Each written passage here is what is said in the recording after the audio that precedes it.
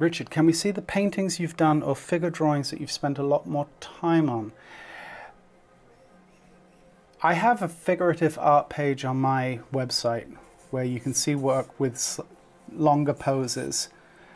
Um, truth be told, even on the long poses, I, I just simply don't I don't do multiple hour drawings. It does it just doesn't it's just not something that interests me. So even the very longest drawings on my website are probably no more than maybe an hour or two.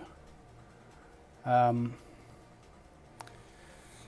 I tend to work quickly, generally speaking, and I tend to lose interest in the drawing once I feel like I've, I've, I've solved or understood the large idea of what it was I wanted to say with it. Um,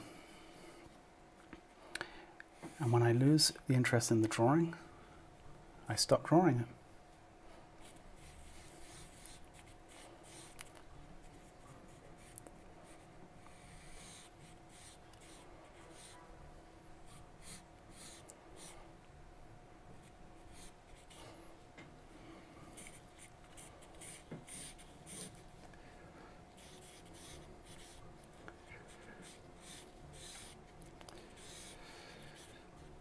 Okay, so this leg is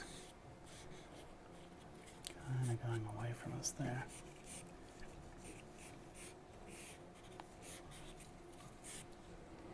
Okay, so pretty much going to get everything I need to get into the drawing, so that's good.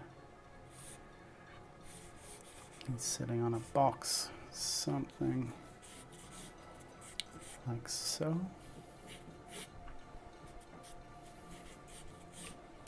If we could see it all. Obviously it's obscured by a lot of drapery, but that's the general idea.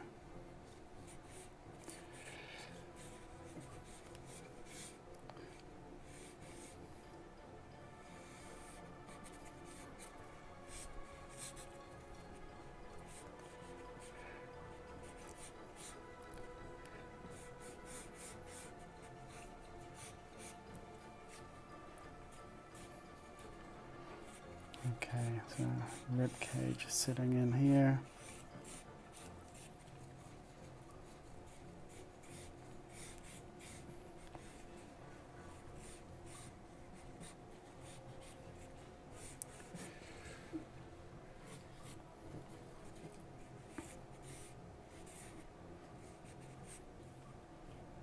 And then, let's see, forearm is sitting about here.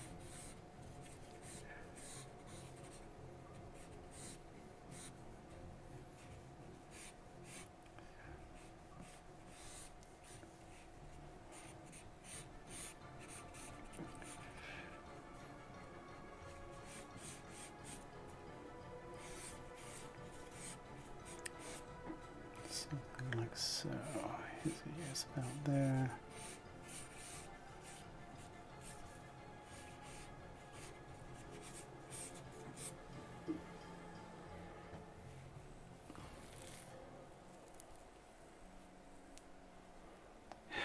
Gabriel started using charcoal because of you, and I'm addicted now.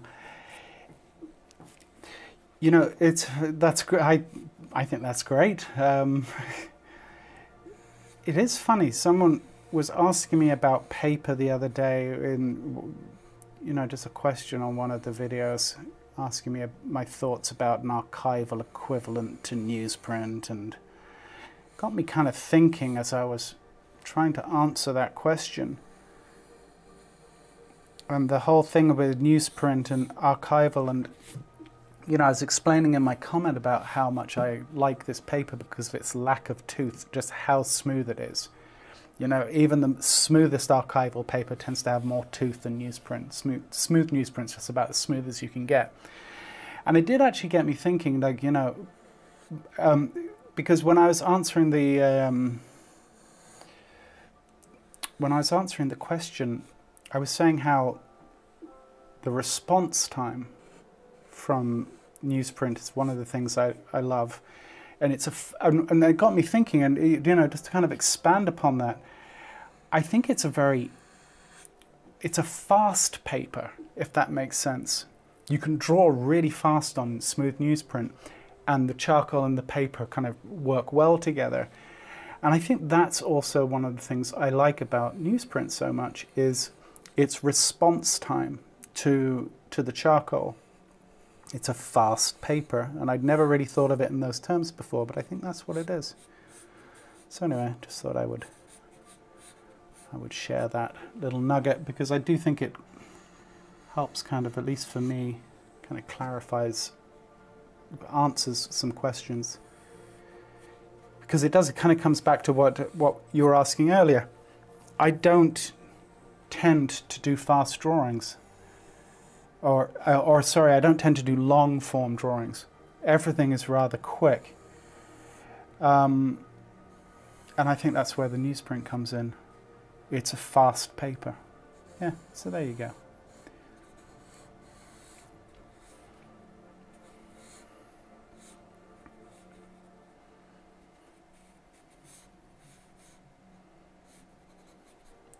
All right, we're at six and a half minutes. I think we're doing all right time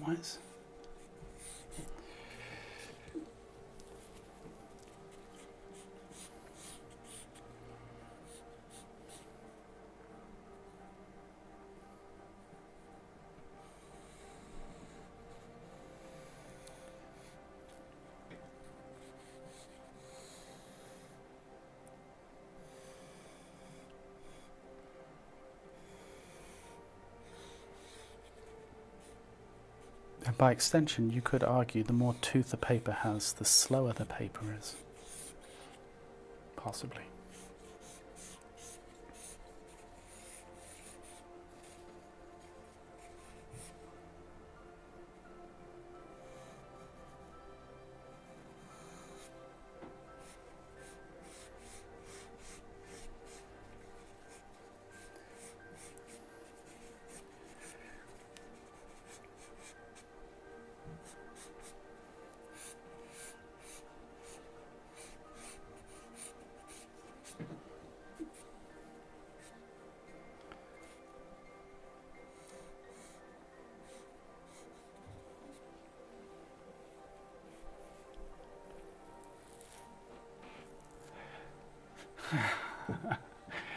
Generals should start sponsoring this stream.